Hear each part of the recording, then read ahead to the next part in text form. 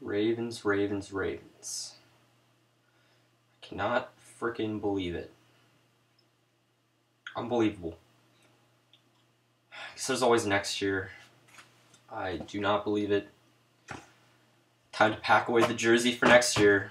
I, I really do not believe it. So close to the Super Bowl. That's all I gotta say.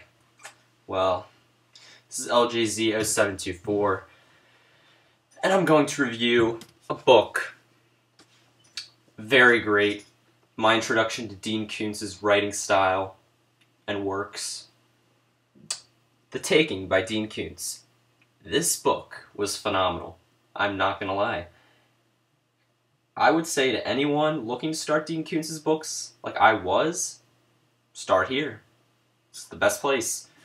And as I said, I was really surprised with Dean Koontz's descriptive writing style. I, I mean, I've never had an author who's quite that descriptive. There's so many words in this book that I wasn't sure of their meaning, so you can expand your vocabulary from reading his books. I mean, it was absolutely great.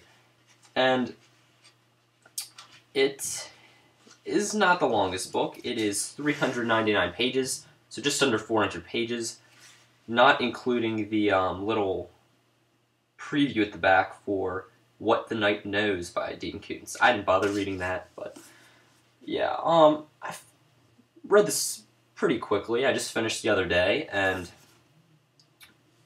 this book is great.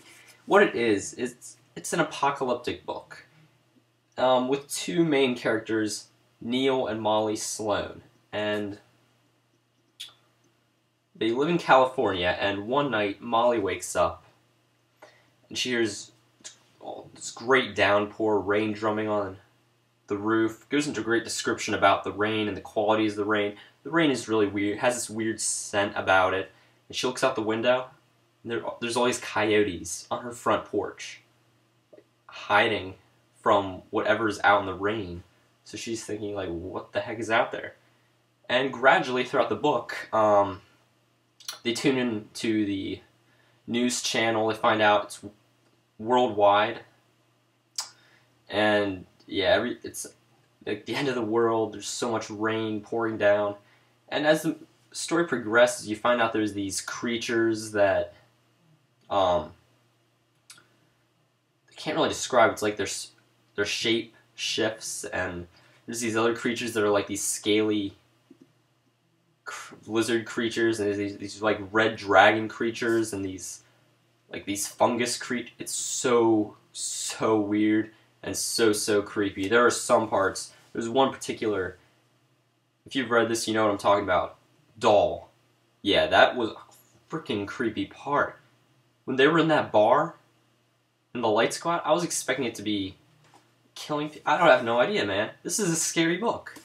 You can literally easily get nightmares from this. I know for one, when I read this, the night after I read this, I could I had trouble falling asleep.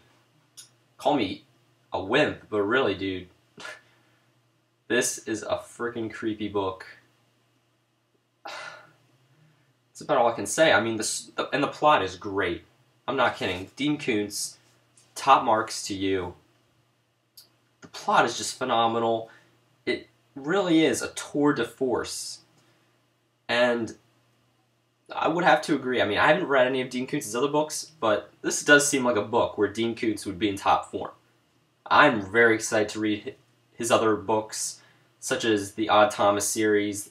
And actually, in my English class, we just finished reading Frankenstein, so I'm very excited to get into his modern retelling of Frankenstein. That sounds great. That series so I am personally very excited to get more into Dean Koontz's books. Great book. Um, great apocalyptic book. If you like those sort of end of world apocalypse books, check this out. If you're a fan of horror, check this out. If you're a fan of action, check this out.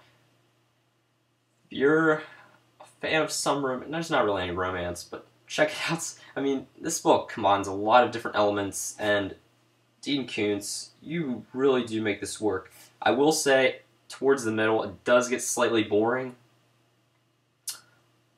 but that doesn't last that long. It only lasts maybe 40 pages in the middle, it's not big of a deal. I can easily overlook it.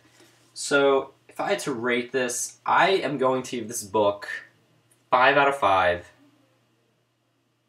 This is freaking amazing. That's all I gotta say. And if you're one of those people who gets nightmares easily from books, yeah, you're gonna be getting some nightmares. So, 5 out of 5. Please rate, comment, and subscribe. Thank you very